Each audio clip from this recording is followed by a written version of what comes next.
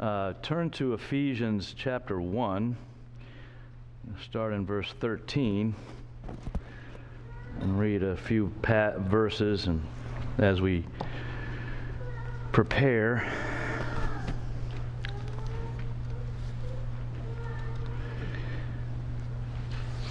Verse 13.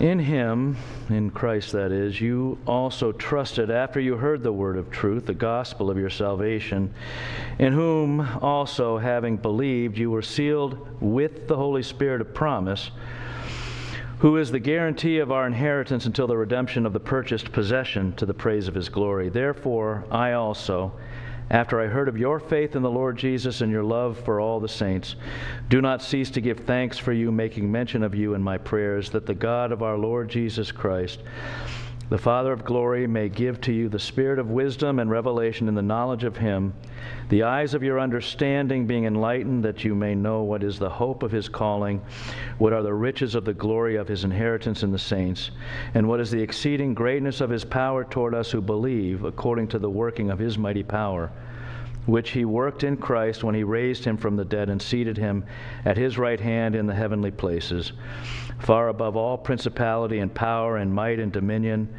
and every name that is named, not only in this age, but also in that which is to come. So that's what it's all about. Um, as believers, uh, the eyes of our understanding being enlightened, that we may know more fully what is the hope of his calling, what are the riches of the glory of his inheritance in the saints and so it's an opportunity as we gather for that to unfold through the ministry of the Spirit. And as we think of walking in the Spirit, uh, one of the things that just I kind of thought about this week as I was thinking about this passage was in him you also trusted and then we are sealed with the Holy Spirit the Holy Spirit indwells us uh, we get mechanical sometimes about this whole thing and in some of the ways which we go about our spirituality but we are each personally indwelled by the Holy Spirit that's a pretty heavy, weighty thing to think about. Uh, but that brings it to a level where it's, it's so intimately relational that as we orient to the ministry of the Spirit, it's not something out there, it's something inside. We are indwelt by the Spirit, so we are that much more guaranteed of the working of the ministry of the Spirit as we orient to uh, Him and are in right relationship with Him.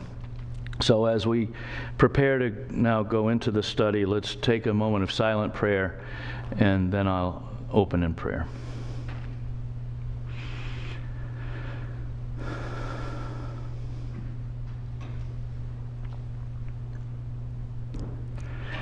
Father, as we come together and look to you for a time of worship in your word, a time of submitting ourselves to its working in our lives, that we might lay hold of that for which we have been laid hold of in Christ. We acknowledge the full provision you've made for us as we orient to it to be brought further along unto the fuller stature of the Lord Jesus Christ. And we thank you for the provision of this time. Um, even though it's routine for us, we don't take it for granted. And we recognize its importance. Pray that we would put aside any distraction this morning that would deter your working in our hearts, that we might, you might bring about the full benefit that you desire unto your honor and glory. In Jesus' name we pray. Amen. So we've been, by way of introduction, hearing for some time now not just from the world where we would expect it, but from within Christendom that Christianity must adjust to the times, to the cultural winds that blow. And I'm not talking about those things that distinguish cultures from one another in ways that are morally neutral, but those things that actually represent moral decline where we, what we know as traditional values have been marginalized on their way to complete abolishment. And when I speak of traditional values, I'm referring most specifically to those things that ultimately find their basis and grounding in the divine order as God had created and intended. For these values to abide, man must see this connection and honor it. Can't be something we grasp by way of experience alone in some kind of vacuum of absolute framework. Especially as believers, we must ground these things, these values, these convictions in divine viewpoint according to Scripture if they are to, if they're going to be firmly moored in our hearts against the onslaught of all that involves and drives, on the other hand, human viewpoint. We understand that traditional values can be perpetuated in some measure for a time by sheer momentum of societal custom and function. Uh, so, if we were more particularly to look at America, for instance, we find this with respect to biblical principles that were embedded in our founding, even amidst at that time and for a time and even till today significant doctrinal differences on certain things that have in themselves ultimately sown weakness within and undermined Christianity itself. More specifically, oops. More specifically, we note this regarding divine institutions, as we are familiar with, uh, volition or personal responsibility marriage, family, human government, nationalism. From before and through our official independence as a nation to relatively recently, the momentum of the honoring of these institutions has anchored our nation, and as they would any society.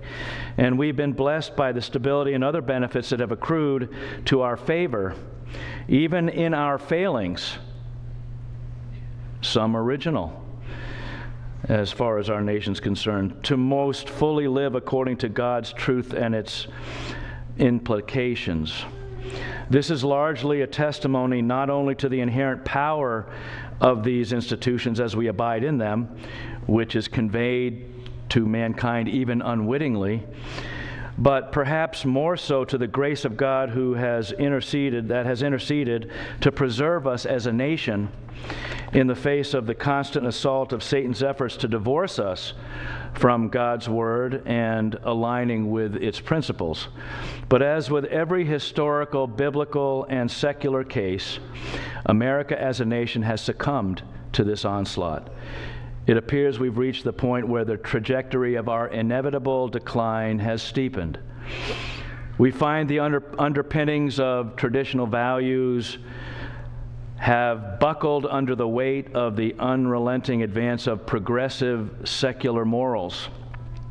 An allegiance to divine institutions and their principles and implications, which had come to amount to an innate but unwitting shell at this point, has crumbled.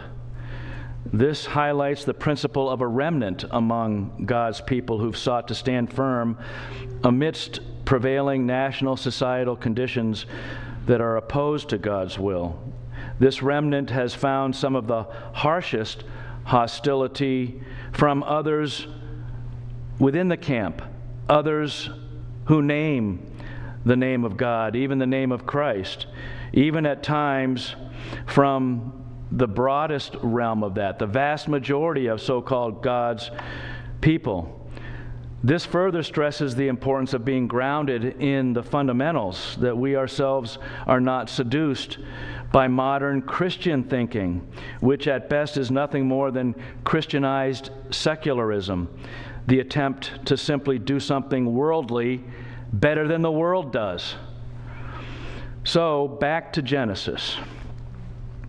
If we do not accept the account of Genesis as historical and authoritative, as such and in its details and implications, we find no basis to hold fast to those things that it addresses regarding God's created order.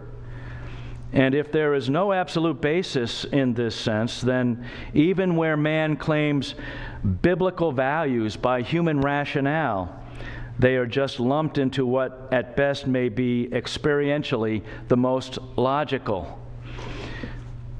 Well, nothing wrong with that as a starting point, but human rationale is ultimately no match for the relentless attacks of Satan. The only basis upon which we may firmly abide within the realm of divine viewpoint is faith in God's revelation, faith in God's word. What we may observe by way of reality may coincide, unsurprisingly, with what we accept by faith, but what we experience, what we observe, is not needed to support faith. In our recap of this study in Genesis 1 through 12, we've been looking at transcendent truths and principles that we find regarding creation.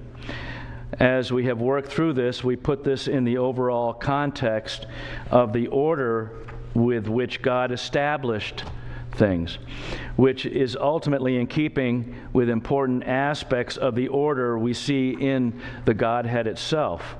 We've wrapped up our review of God's created order regarding male, female, man, woman, though we'll get back to it after the fall for some important things that are introduced there. And we looked at this generally in terms of those things that first relate to the fundamental equality as rooted in the image of God. Then, within this vital sphere, we noted the key framework of principal roles that more particularly further govern gender distinctions, all of which, as we know, was proclaimed very good by God and embraced as such by man pre fall at that time. And last time, we simply saw this more particularly regarding the institution of marriage. Today, we will tackle a couple loose ends, though, before moving on to Genesis 3, uh, which we will get into next time. But for these loose ends, we're going to start with Genesis 2 1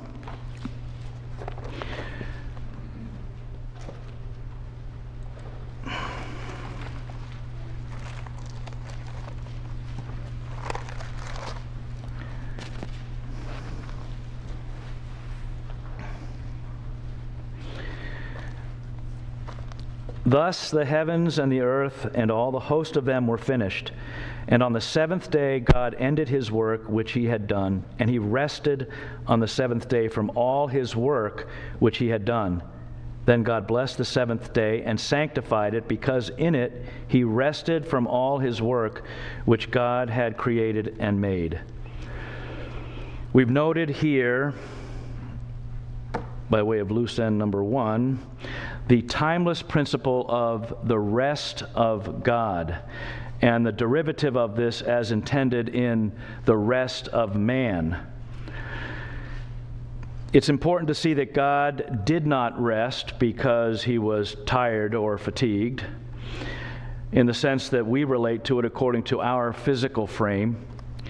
God was simply done with creation and had, in a sense, certified this by declaring everything that he had made very good. We considered two important implications of this by way of observation and principles. First, we find a dimension of God's resting that is central to its meaning in relationship to God, but also by extension in a vital way to mankind. And this is the notion of taking satisfaction in the result of his completed work. As Tom Constable frames this simply, God blessed the seventh day of inactivity in that he set it apart as different from the other days of creation. It was a memorial of his creative work. God was satisfied with the work that he had done. So, the first side of this is that God rested in the sense of ceased his activity took in what he had created as he proclaimed it very good and was satisfied completely with, with it at that stage, of course, in his handiwork. The second principle we noted was that of the fundamental nature of God's creation and some important implications of this regarding uh, relative to God's sovereignty. As Stanley Udd describes in his book, A Genesis Journal, there are two primary veins of thought concerning the nature of God's preservation of creation. On one hand, there is the so called continuous creation view, which describes where God, through ongoing effort, directs every facet of every motion of everything down to the smallest particle. In other words, God is still, from that point of even at the time he said it was finished in terms of creation and resting, is micro controlling the physical universe.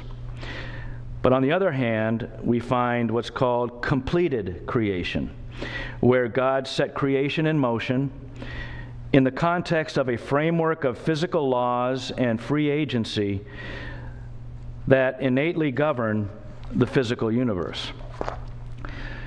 So let's break these two down. The Hebrew word for rest here is shavath, which simply signifies ceasing or desisting. It is most often, at least in the King James Version, translated to cease. It is used in verse 2 of chapter 2 in conjunction with God ending his work, which seems to reinforce this sense, the idea of ceasing, desisting. Udd thus describes the completed creation view as reckoning, quote, that the nature of the creative process of that first week uh, was of such a quality that the universe operates on its own apart from constant input of the energy on God's part. So, this is what is expressed in he rested. Now, by this general framework, in this way, completed creation, God has embedded his control through his creative process.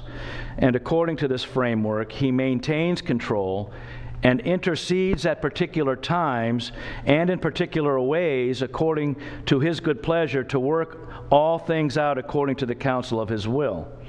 So, what you have is God set things in motion according to certain created innate parameters, but then not only reserves, of course, the sovereign right, but actually acts on that to intervene in time, at times, to direct more particularly within this realm.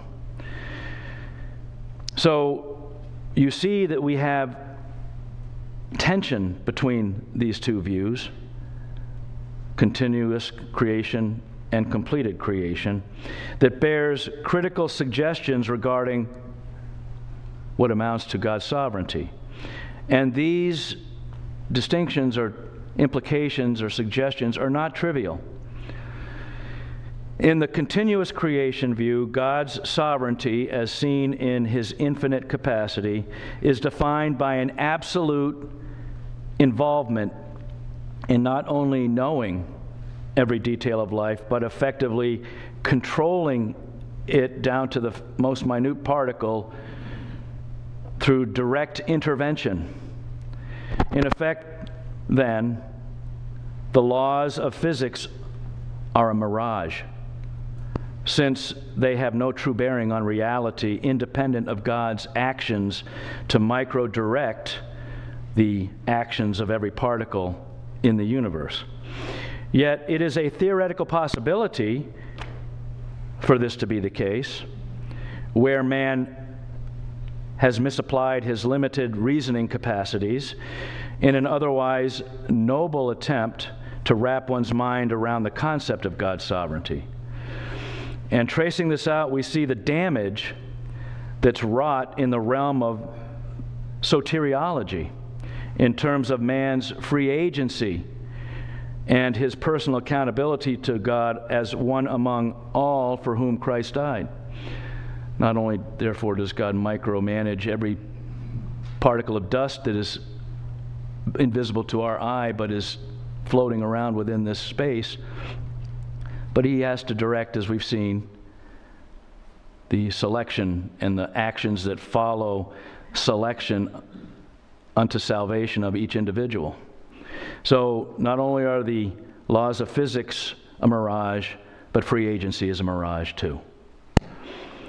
Now, on the other side of the coin, we have completed creation. This view holds that God's sovereignly set creation in motion in a completed form and is governed by a multitude of principles of motion, life, and free agency. God has not relinquished his control or expressed his disinterest in creation, though, as a result. In fact, it would be argued that this yields a higher view of God's sovereignty. God is not confined to a human construct of necessary microcontrol. That is the highest level at which man's finite capacity can fashion God being God. On the other hand, we can see that God is so big that he accomplishes his will not just by direct intervention, which remains frequent, as we see recorded in Scripture and otherwise, but he accomplishes his will through the rules of life that he fixed and set in motion at creation and that generally prevail over the physical universe. This view is most consistent with the wide array of factors we may consider, from a common sense understanding of Scripture to certain physical realities that we observe, such as the second law of thermodynamics, that things tend to decay and disorder. Now, that's, of course, post fall in the time we live. Uh, we would not see the second law of thermodynamics as prevailing before the fall, but nevertheless, it's something that is in motion. It's, it's just embedded in reality. So, in summary of this principle, God rested his working relative to creation ceased. In his satisfaction, he had declared at that time everything that he had ceased from making very good. And from the realities and principles of God's rest now, we find an implicit basis for man's rest, which later, beyond Genesis 2, is described and directed of us explicitly. So now let's turn to the practical implications, uh, realities, truths, principles related to rest as they relate to man. Perhaps the most familiar form of this, in direct connection to our Genesis passage, is found in the fourth commandment. Turn to Exodus 20, verse 8.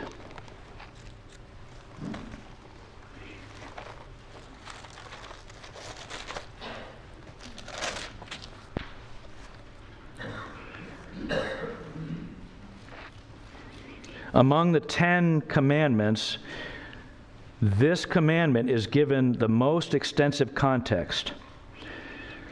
Remember the Sabbath day to keep it holy. Six days you shall labor and do all your work, but the seventh day is the Sabbath of the Lord your God. In it you shall do no work. You, nor your son, nor your daughter, nor your male servant, nor your female servant, nor your cattle, nor your stranger who is within your gates. For in six days the Lord made the heavens and the earth, the sea, and all that is in them, and rested the seventh day. Therefore the Lord blessed the Sabbath day and hallowed it. Now, in direct association with God's resting, as we see here at the end of creation, the Jews were required to cease from any labor on the seventh day of every week. Now, underlying this was a deeper, vital principle that was to be observed reflection on and resting in God and His provision. Yet its observance, as directed explicitly here, was to be followed by Israel, irrespective of where one's heart may be. Even where one's heart may not have been in sync with one's outward practice of simply ceasing from work. It served as a corporate testimony through Israel as being God's chosen people. So one's heart wasn't required to be aligned with it, though that is really what is intended. but it was directed so that the nation Israel might proclaim as a chosen people that they were distinct, they were separate. It was a testimony in that sense corporately. Unfortunately, not only did its observance, the Sabbath's observance, not largely coincide with a proper heart posture on the part of the people, it became more and more legalistically complicated under the apostate religious rulers. And even though not in force uh, beyond the cross, Sabbath observance has been adopted legalistically at various levels within Christianity, as we know. And this is the breakdown. The Sabbath is not only reduced to something subject to rote observance, detached from, uh, detached from inner worship, in this it becomes abusive in its humanly derived embellishments and manipulations. Instead of the Sabbath channeling worship and rest by grace through faith, it occupies the role of a tyrannical taskmaster by works unto excessive piety, outwardly, that is. Now, there's nothing wrong with setting Sunday aside in a Sabbath sense. As long as its observance is bathed in spiritual rest and for this, in seeing a direct connection regarding church age truth, turn ahead to Hebrews 4. You, we're familiar with, and I should have jotted it down, but I'm going to do my best to paraphrase it. One man regards one day above another, another regards all days alike. We are free as believers to have that in our liberty distinction and, and adopt our convictions accordingly. But we should be unified in the spiritual underlying spiritual realities that that, that bears. Hebrews chapter 4, we're going to begin right at verse 1. Therefore, since a promise remains of entering his rest, let us fear, that's God's rest, let us fear lest any of you seem to have come short of this rest, of it. For indeed the gospel, or here euangelion, good news, not the gospel in a technical sense, but good news. He, for indeed the gospel, the good news was preached to us as well as to them, Israel. But the word which they heard did not profit them, not being mixed with faith in those who heard it. For we who have believed do enter that rest, as he has said, So I swore in my wrath, they shall not enter my rest, although the works were finished from the foundation of the world. For he has spoken in a certain place of the seventh day in this way, and God rested on the seventh day from all his works. And again, in this place, they shall not enter my rest. Since therefore it remains that some must enter it, and those to whom it was first preached did not enter because of disobedience, again he designates a certain day, saying in David, Today, after such a long time, as it has been said, Today, if you will hear his voice, do not harden your hearts. For if Joshua had, Joshua had given them rest, then he would not afterward have spoken of another day. There remains therefore a rest for the people of God, for he who has entered his rest has himself also ceased from his works, as God did from his. Now, what we find here, independent of a most direct association with the Sabbath, even in speaking of the children of Israel in this context, is the principle of the rest of man that finds its basis in the rest of God, as identified with the seventh day of creation.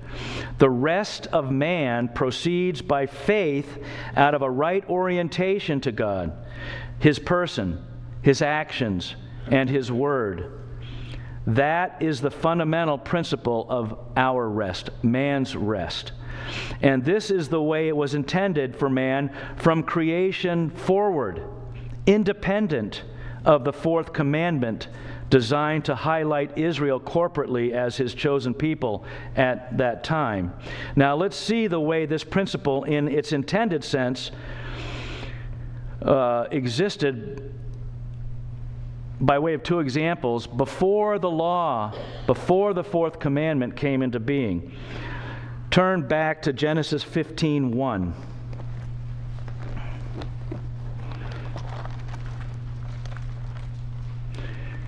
This follows the same pattern of the promise and the law, right? Where we see that Abraham believed the promise, and the promise was in effect in advance of the law. It took precedence over the law. Genesis 15:1 After these things the word of the Lord came to Abram in a vision saying, "Do not be afraid, Abram. I am your shield, your exceedingly great reward." But Abram said, Lord God, what will you give me, seeing I go childless, and the heir of my house is Eliezer of Damascus? Then Abram said, Look, you have given me no offspring. Indeed, one born in my house is my heir. And behold, the word of the Lord came to him, saying, This one shall not be your heir, but one who will come from your own body shall be your heir. Then he brought him outside and said, Look now toward heaven, and count the stars if you are able to number them. And he said to them, So shall your descendants be. And he believed in the Lord, and he accounted it to him for righteousness. Now, granted, we're going to be reading between the lines here, but I still think it's clear. This passage offers a good context in developing the principle of the rest of man as it was intended to extend from God's rest. Again, the important way we need to see this in terms of a transcendent principle is in man deriving rest through meditation on God in his person, his works, and word. Now, we mix these things with faith and find the God intended place of rest while glorifying Him. In verse 1 here, we see God declaring Himself to be Abraham's all in all, his protector and his provider. God wanted Abraham to focus his attention on his character, specifically as directed personally toward Abraham. And in verse 5, God directs Abram or Abraham's attention to the heavens, which we know declare the glory of God and show his handiwork. So God wanted Abraham to also meditate on his works. God sets his promise to Abraham in this context. And, he, and Abraham responded as God desired, and according to that which would yield rest and righteousness, as we saw in Hebrews 4. Abraham mixed his faith with God's promise, and he drew on the character and the creative power of the one behind the promise, the one who himself had looked back on all that he had made, as we're going back to Genesis now, and saw in it, in it himself the full testimony, full testimony of an all powerful, personal provider that would form the basis of our assurance, uh, confidence, and trust. This is the transcendent principle that prevailed from the beginning of all of mankind that has been able to bear witness and have the oppor- and man to have opportunity thus to respond to it. This formed the basis of God's right to expect it to prevail among his chosen people, which is where we get to the biblical concept of the Sabbath. The Sabbath was actually first formally instituted by this designation in conjunction with God's provision of manna which was before it was formally codified as a commandment. Shortly after leaving Egypt, the Israelites began to complain about the lack of food. God promised to provide food, and He did so initially in the form of quail at evening, and manna every morning. So, though in a precursor form, it established as a corporate Sabbath rest the demanding of it in an outward form, outward observance, yet in this sense it remained and it was completely grounded on inward resting on God. Among those things that the children of Israel had witnessed up to this point, and as chronicled in many places going even forward, as a basis of depending on God, resting in Him, were the plagues of Egypt, which displayed both God's miraculous power and His sheltering protection of them as His people. Then Israel had just witnessed God's deliverance from Pharaoh's army through the parting of the Red Sea and then collapsing it on, his, on their pursuers. And as Israel was embarking on a journey through unknown places, fraught with uncertainty regarding their daily provisions, they needed to have confidence in God that they could draw from the prior events fixed in their hearts. In providing miraculously further for their daily sustenance, God or offered reinforcement for this confidence. In memorializing the seventh day as a time of rest and reflection on his faithful provision and protection, God provided a regular daily opportunity to be refreshed in this confidence. Now, it's not hard to see this principle at the heart of the Sabbath as we consider these things in that light. And this is the true spirit of the Sabbath that we see explicitly as we read in Hebrews 4, and may derive implicitly from the myriad of passages where God's people are exhorted, are encouraged to meditate on God's person, on His works, and His Word as our source of rest. Now, the Lord addressed the Sabbath and its true role in Mark 2:27. So turn to Mark 2:27.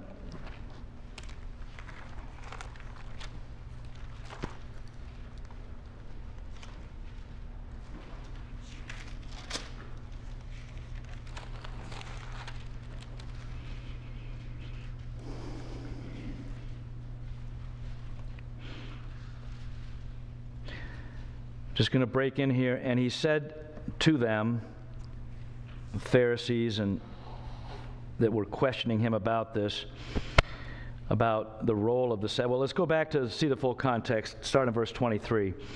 Now it happened that he went through the grain fields on the Sabbath, and as they went, his disciples began to pluck the heads of grain. That's work. Just set the stage here. And the Pharisees said to him, Look, why do they do what is not lawful on the Sabbath?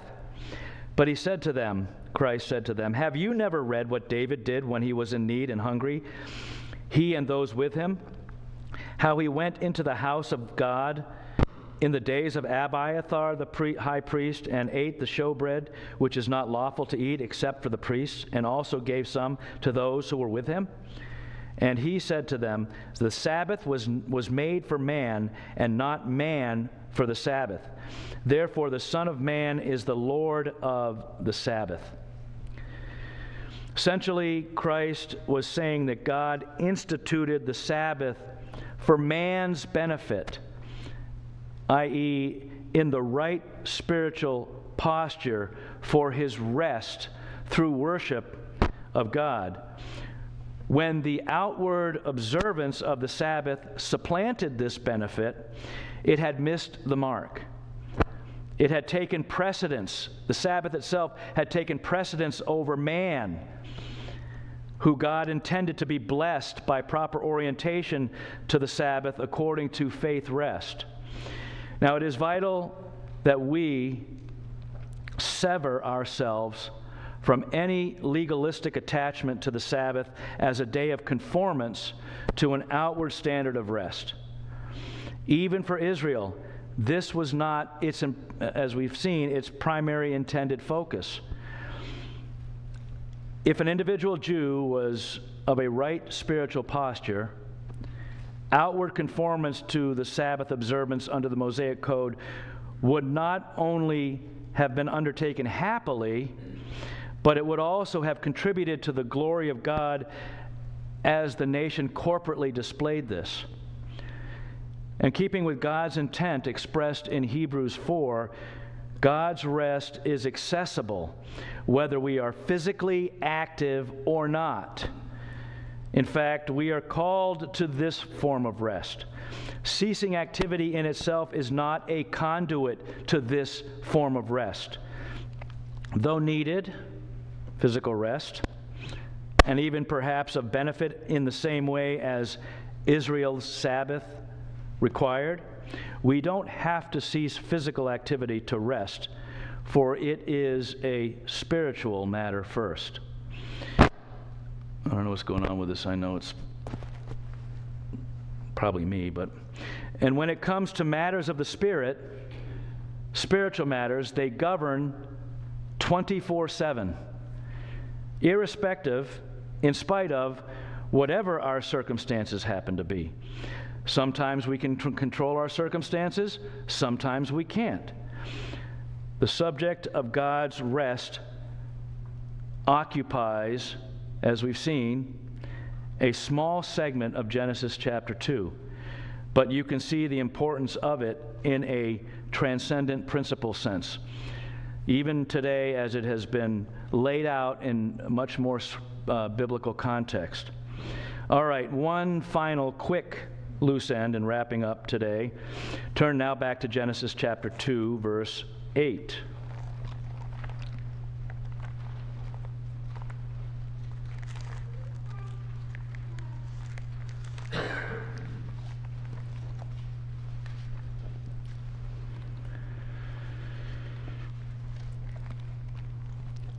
Then the Lord God planted a garden eastward in Eden, and there he put the man whom he had formed. And out of the ground the Lord God made every tree grow that is pleasant to the sight and good for food. The tree of life was also in the midst of the garden, and the tree of the knowledge of good and evil. Now a river went out of Eden to water the garden, and from there it parted and became four riverheads. The name of the first is Pishon. It is the one which skirts the whole land of Havilah where there is gold, and the gold of that land is good. Bdellium and the onyx stone are there. The name of the second river is Gihon. It is the one which goes around the whole land of Cush. The name of the third river is Hiddekel, or Tigris, which is more familiar to us, and I think the New American Standard translates it that way. It is the one which goes toward the east of Assyria. The fourth river is the Euphrates. Then the Lord God took the man and put him in the Garden of Eden to tend and keep it.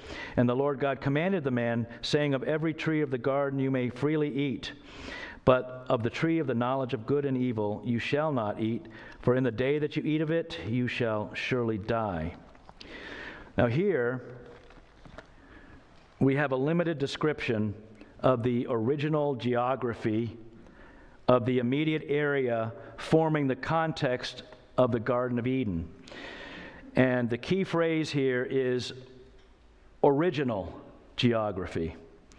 Among the curious things in, that, that we find here are we see included references to two rivers which have modern correspondence the Tigris and the Euphrates, and a country, a land, Assyria. But beyond being a reference to an original formation, we recognize at least one major intervening event that would have reshaped the world's geography since the point of creation the flood, right? Nevertheless, so there's been a dramatic change in what was originally in place to today. Nevertheless, as with other passages with scant detail, this hasn't prevented people from seeking to craft some sort of hypothetical original geography out of what we find revealed here. Now, this offers an example of where we may chase a rabbit way too far. resulting in arguing among models uh, that we've come up with against others that have come, one, each, each of them coming to erroneous conclusions, even if humanly reasonable. Now, if God revealed these things, they're there. Why shouldn't we run with them? Well, maybe, maybe these minimal details aren't there for anything more than couching this account in normal descriptive language only to the extent necessary to give it a natural context. The fact that there's correspondence to, to modern geographical features doesn't amount to direct connection. Man has named rivers after other rivers. The Thames River, right in our backyard. Cities after other cities and a whole array of geographic features after other features. Some surmise that Genesis 2 describes a single original contiguous landmass, with Eden tucked within it in a way that provided ideal environmental conditions topographically, atmospherically, hydrologically, botanically, etc. No doubt, at the beginning, these original conditions were part of the very good assessment of what God had created. You know how beyond that, even secular man takes the various shapes of the continents and can fit them together, right? You take Africa, South America, you know, Asia, and they all they kind of form like a puzzle, right?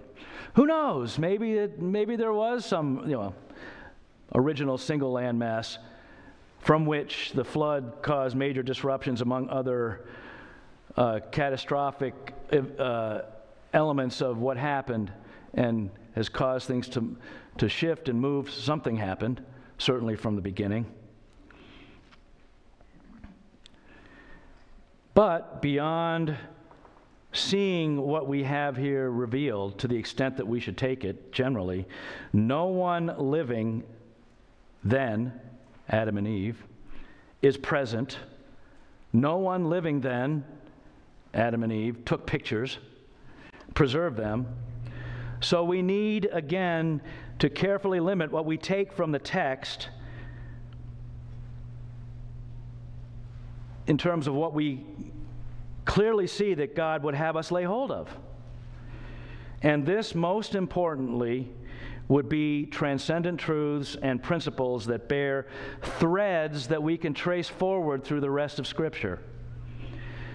Instead of drafting notional sketches of what Earth's original geography might have looked like, and there are those out there, and I purposely didn't put one up there for us to look at and see because it's meaningless. We should home in on features that are central to the spiritual realities that we should be mining from the text. We've noted a few of these in terms of God's charge to tend and keep things in the garden in keeping with a broader principle, the dominion principle that he's charged man to.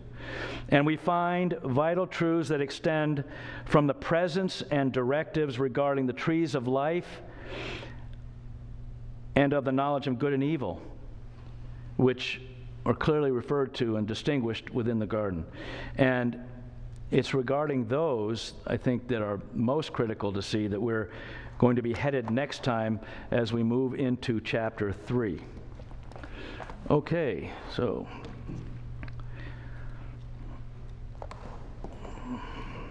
All right, let's close in prayer. Father, we thank you for. Uh, your complete provision for us as we read in Peter. You provided everything for us unto life and godliness, everything that you want us to lay hold of. We need to look to you as to carefully, rightly dividing the Word of God, that we would take away those things that you want us to focus on and eschew those things that we should not chase irrespective of our curiosity, irrespective of our penchant to engage our imagination, unto speculation. Uh, Father, we thank you that we can stay in line, we can walk according to your provision for us in these things as we simply align with the ministry of the Spirit, who will guide us not only into all truth in proper understanding personally, but also in the unity of the body, coming to a corporate understanding. We can't come to this in our own devices, into our own cleverness, unto our own rationale, though they form a part of us initially interacting with through good in- rules of interpretation what the text has for us we have to f- constantly rest and place those things within the realm of the ministry of the spirit and we thank you that we can depend on that in complete confidence and assurance. Again thank you for our time today. Look for your blessing on the balance of it. In jesus name bye